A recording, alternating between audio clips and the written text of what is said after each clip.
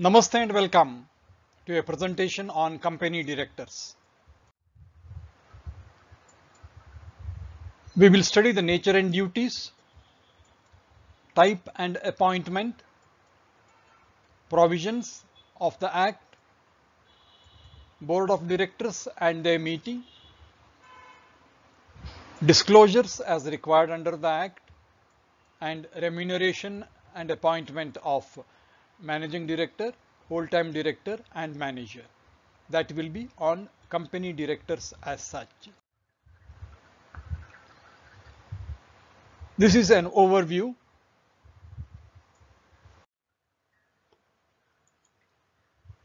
In this part C video, we will be covering board of directors, disclosures and managing director, whole-time director and manager. Please watch part A video and part B video for nature and duties, types and appointment and provisions. Now we will have a look at the board of directors and its various provisions on quorum, committees, powers and restrictions. Provisions on meetings of board contained in section 173. It talks of first meeting of the board to be held within 30 days of uh, incorporation. Thereafter, the requirement is every year you should hold four meetings and between two meetings the distance should not be more than 120 days. This is a simple requirement as per the section.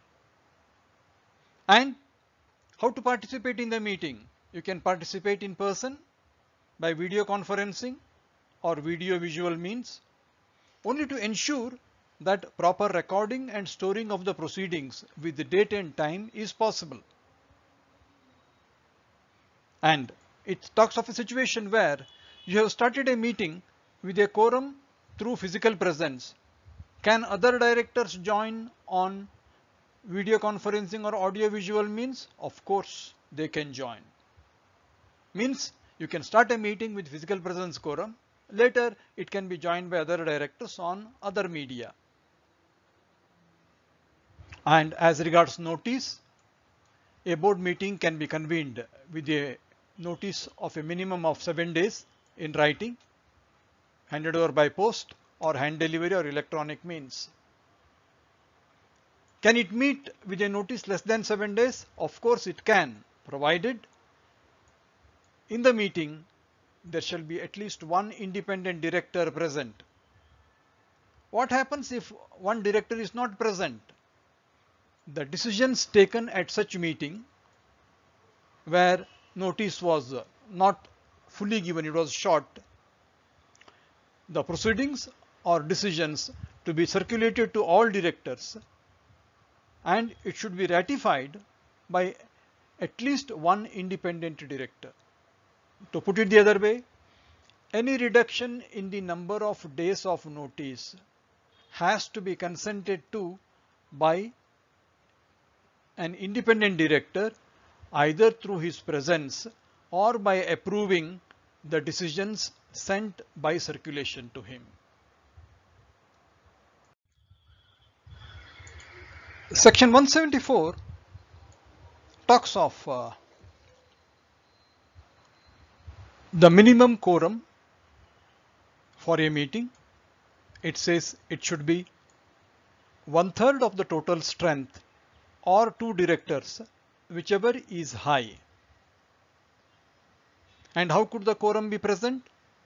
It could be present by participation physically or by video conferencing or by other audio visual means and quorum is allowed under all the media. If the quorum is not met because the number of directors has been reduced below the quorum level, what the company should do? For example, if the quorum is 2, sorry, quorum is say 5 and available people is only 4, then the meeting cannot be held. In such a case, The section says the board can meet to increase the number of directors and bring it to the level of quorum or it can meet to summon a general meeting for the sake of recruitment of additional directors to address the issue of quorum. It cannot conduct any other business in such a meeting. Means it is a quorum development meeting to be held by the board. Third is in respect of impact of interested directors exceeding two thirds because we are talking of one third as the of the total strength as the quorum. But if the interested directors itself is in excess of two thirds, we will not be meeting the quorum. The section says if quorum is adversely affected by the interested directors, the not interested directors will form a quorum provided their number is not less than 2. Because to form a meeting you need minimum 2 people. Therefore, interested directors affecting the quorum is negated by stating that if the number of disinterested directors is not less than 2, that itself will be the quorum.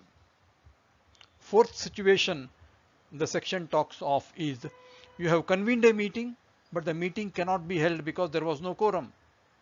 It says if there is no quorum the meeting of the board gets automatically adjourned to the same day next week and at the same time and place. These are four basic things which section 174 talks about the quorum. This is a method of passing resolutions by the board called resolution by circulation. The process followed is the resolution is circulated in draft together with all necessary papers to all directors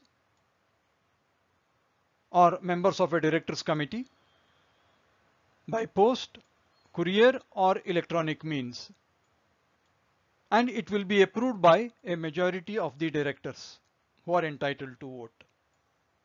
Without meeting, by approving it in draft, the resolution is passed. And it is taken on record in the subsequent meeting of the board and it will be included in the minutes of such meeting. That way, the process of resolution by circulation is documented. In the meanwhile, if not less than one third of the directors say, no, whatever resolution we have passed by circulation is not okay, we want it to be discussed and passed in a meeting, if the members who are asking are not less than one third of the strength of the board, the board is obliged to convene a meeting and get the resolution processed through a regular meeting of the board. Rule number four pertaining to sitting fees makes out mainly three points. One, the amount of sitting fee paid should not exceed 1 lakh rupees per meeting and Such sum may be decided by the board of directors and there should be no discrimination in terms of amount of sitting fee between independent directors, women directors and other directors. Section 177 talks of appointment of an audit committee by a very listed company. The audit committee shall have three minimum directors and majority of directors in audit committee shall be independent directors. And the terms of references to the audit committee will be furnished by the board. Normally, the scope covers terms of appointment of auditors, effectiveness of audit process, scrutiny of intercorporate loans, valuation of undertaking or assets of the company, internal control and risk management, and usage of funds raised through public offers, roughly. The audit committee can discuss in the course of its work all the related issues with both statutory auditors, management and the internal auditors. It has got the authority to investigate all related matters. And auditors of the company and the key managerial person also have got a right to be heard by the audit committee. It is mutual and reciprocatory. Wherever the board doesn't accept the recommendation of audit committee, it shall indicate that in its director's report at the end of the year with reasons. And the section also mandates that the listed company shall have a vigil mechanism for adequate safeguards against victimization of persons and such mechanism shall be disclosed on the website of the company. Section 178 talks of formation of two committees. One known as nomination and remuneration committee. Second one is stakeholders relationship committee. The nomination and remuneration committee focuses on identifying future directors and grooming them with proper evaluation of performance and proper policy of remuneration and recognition. A nomination and remuneration committee will consist of three or more non-executive directors and one half of the composition shall be independent directors. And the chairperson of the company can be a member of that committee, but he shall not be the chairperson of that committee. He will be a member. And what the committee will do is it looks for grooming of existing staff at the senior management level to become directors by laying down criteria and setting processes and fixing up policy which are based on remuneration which is reasonable and sufficient effort reward relationship in every remuneration package relationship of remuneration to performance balance between fixed pay and incentive pay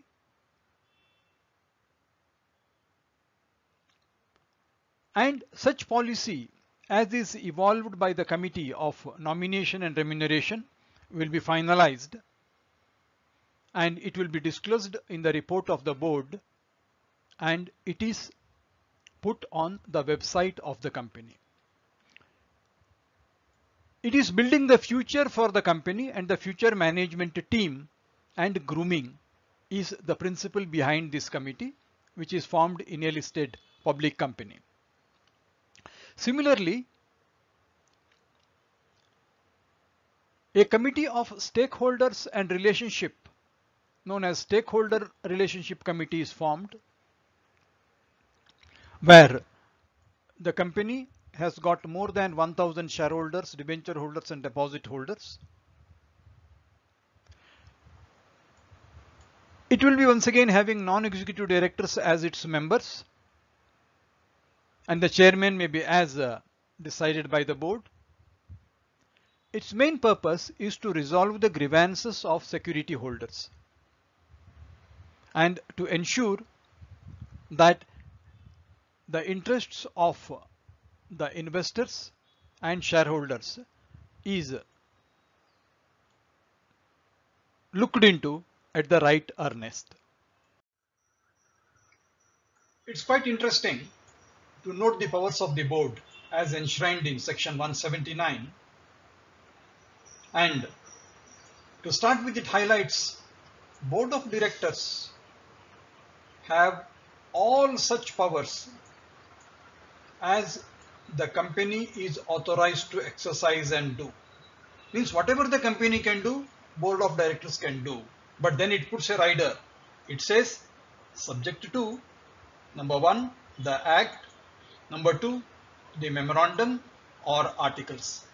And number three, the board shall not exercise those powers which are the jurisdiction of general meeting. To put it simply, board can do anything provided under the act, provided under the memorandum and articles and provided it is not within the area of general meeting. It cannot encroach upon general meetings rights. So much for board has all such powers. Means general meeting has got powers which can prevail over the powers of the board. But there is a protection to the board. It says no regulation made by company in general meeting shall invalidate any prior act of the board. Means anything that the general meeting does, it cannot be retrospective, it can be prospective. It cannot reopen what the board has done in the past within its authority. Okay, that is point number two. Point number three, it says board has got all powers, but there is a process. The following powers can be exercised by the board only through resolutions passed at meetings. What are those powers pertaining to? Making of calls, buyback of shares, issue of securities, borrowing of money, investing of funds, granting of loans, approving the board report, diversify the business, approve merger or reconstruction, take over substantial stake in another company or any other matter. The whole thing here is all these major decisions are required to be passed at meetings only. They cannot be by circulation. Out of these powers, it says powers D to F. D to F powers are to borrow money, to invest funds of the company and grant loans. These three powers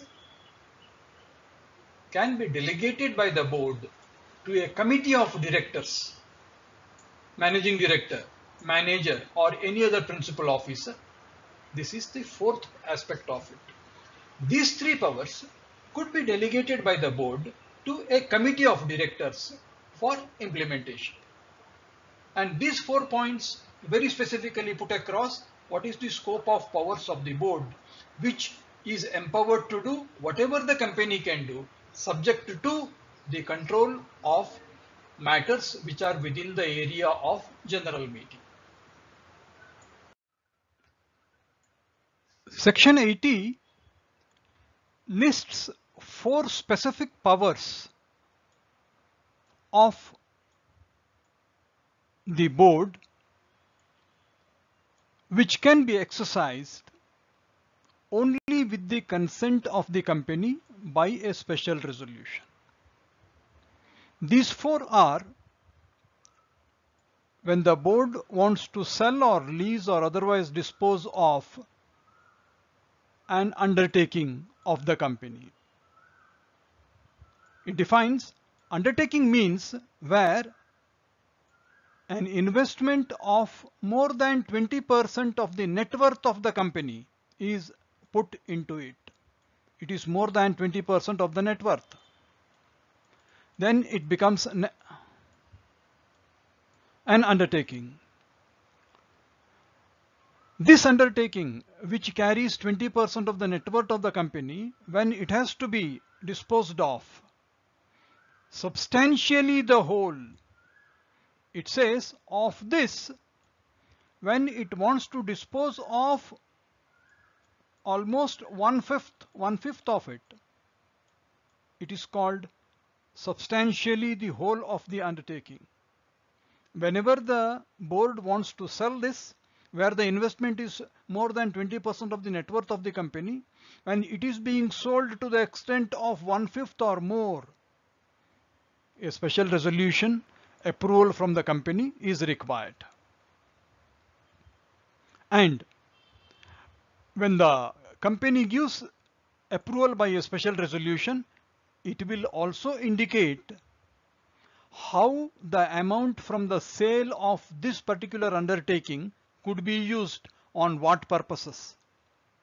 There is a rider here. When the board is authorized to do this and there is a specification as to where the money could be used and how it could be used, it shall not be used for any reduction of capital. This is the first restriction on the powers of the board. In the second case, where the board wants to invest any compensation received from merger or amalgamation in securities other than trust securities. Trust securities are considered to be the most liquid and most safe investment. Whenever the board wants to invest in securities other than trust securities, the company wants to play safe, it says it should be supported by a specific resolution by the company. Third, where the company has to borrow in excess of its paid up capital, free reserves and securities premium, which is almost similar to net worth. When a company borrows more than its net worth, there should be a supporting resolution from the shareholders. Without supporting resolution, the company cannot borrow. And in this connection, there is a rider under clause 5. If the board with this resolution ends up borrowing more than the amount indicated in the resolution because the resolution the point number 2 says any resolution under C1 shall specify the total amount up to which the monies may be borrowed. Even after giving the resolution, if a lender gives the company more than what was specified in the resolution,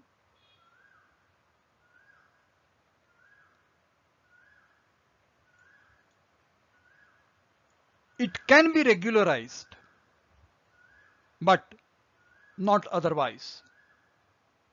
To put it the other way, whenever a board of directors is supported with a resolution which indicated the amount to be borrowed, if the board ends up borrowing more than what was specified, the borrowing is invalid and it cannot be enforced against the company. And the fourth restriction is in respect of where the board wants to give remission in the payment of any debt due from the director, only the shareholders in their meeting can give an approval, not otherwise. To revisit, number one, to dispose of the undertaking which is worth more than the 20% of net worth. Second, to invest in securities other than trust securities, to borrow money in excess of net worth. Number four, to remit any debt due from the directors. Company has to give consent by way of a special resolution. Section 182 refers to contribution made to a political party. A political party is one which is registered under section 29A of the representative representation of the people's act. To contribute a company should have been in existence for not less than three financial years. It can contribute directly or indirectly to any political party. When it pays indirectly, it can pay to a person who is carrying on any activity which is likely to affect public support for a political party. Second, it can pay towards an advertisement in any publication and such publication is working for the advantage of the political party. And the third condition which is put in the section is the amount paid has to be disclosed in the profit and loss account during the financial year and the payment shall be by check drawn on any bank or through electronic clearing system. These are the minimum requirements on the political contribution. It has to be noted that any payment made towards political contribution has to be supported by a resolution passed in the meeting of the directors. Now let us proceed with the topic on company directors. Section 184 talking about disclosure by a director of his interest. It says when the disclosure has to be made, it has to be made at the first meeting where he participates as a director and any change in his disclosures he has to disclose it in the very next meeting of the board after such change. This is so far as when is concerned. In respect of what? In respect of a body corporate where he holds more than 2% of shareholding or is a promoter or manager of that body corporate or he is a partner in a firm. This is in respect of whom? And at what stage? He should disclose the nature of this at the meeting where the contract is being discussed. And what else he needs to do? He should not participate in such meeting once he becomes interested. And if a contract is made without proper disclosure, the contract is voidable at the option of the company. And the director who fails to disclose contravenes the provisions of subsection 1 or subsection 2 and he is punishable with imprisonment and fine or both. Section 185 relating to loans to directors talks of four major things. First, it says no, no advance of any loan to any director or any company which is its holding company or any partner or relative or any firm where such director or relative is a partner. It is a perfect no in these cases. In the second case, it says a company may advance any loan to any person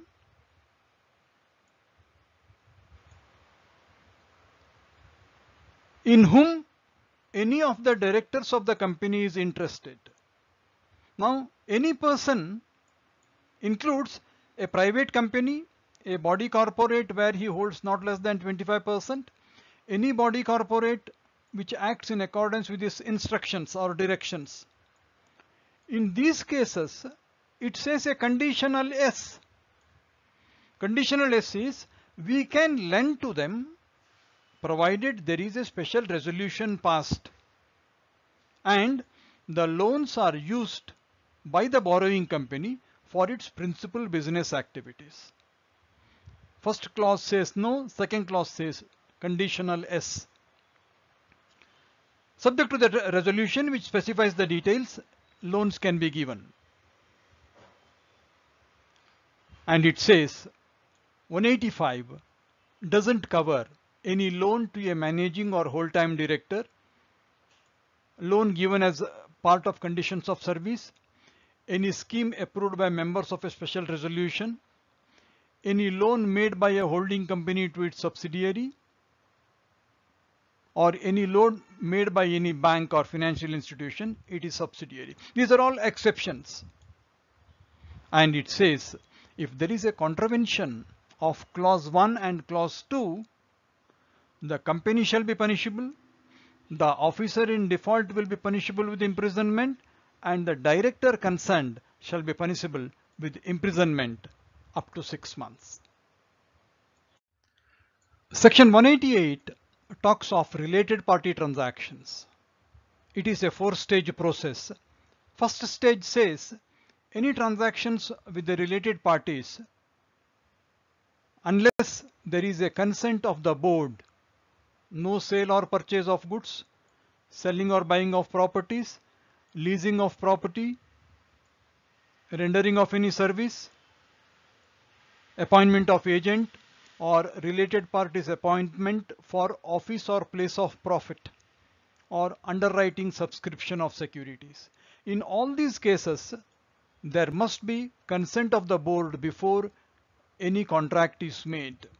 As regards the office or place of profit, it says if the director receives something from the company in addition to his remuneration as the director, then it is an office of profit. This is at the board's level. Second stage of screening is where sale, leasing, D is availing rendering any services and E appointment of agent for purchase. Where the value involved is more than 10% of turnover in ACDE or in case of selling of buying if the property value is more than 10% of net worth of the company or in respect of F office of place of profit if the remuneration per month is more than rupees 2.5 lakhs per month. Or in case of underwriting subscription if the value is more than 1% of net worth in these four cases in addition to consent of the board there should be a company resolution for approval in advance prior approval of the company by resolution is required if these two conditions are not met, the company has got the right to treat the contract as voidable and come out of the contract. Second, it can proceed against the director and any other employee who is involved. Number three, if it's a listed company, there is an imprisonment with fine. In case of other companies, it is punishable with fine Therefore, these two requirements are to be strictly adhered to in respect of related party contracts. That brings us to the last part of the presentation, MD, whole-time director and manager on their appointment, remuneration and relation to profit. Section 196 summarizes the specific terms of appointment of managing director. There are mainly five points. One, you can have a managing director or a manager. You can't have both simultaneously. Number two, their term cannot exceed five years. They are eligible for reappointment, but you cannot make reappointment one year before the expiry of the term. And there is an age limit.